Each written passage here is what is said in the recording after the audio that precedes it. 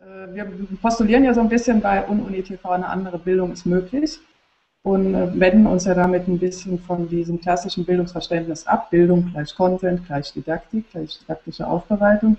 Martin ist heute zu Gast hier als ähm, Experte für digitale Bildung. Hallo erstmal. Hallo. Und ähm, du hast ja auch schon häufiger, habe ich verfolgt, dein Unbehagen gegenüber sämtlichen didaktischen Modellen geäußert. Didaktik ist ja nicht, also die Abwesenheit von Didaktik heißt ja nicht Abwesenheit von Struktur.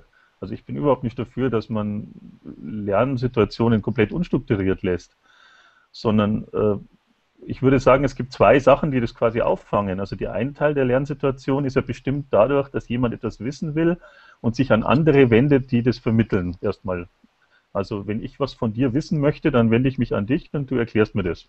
Das ist die natürlichste, substanziellste Lernerfahrung, die man haben kann.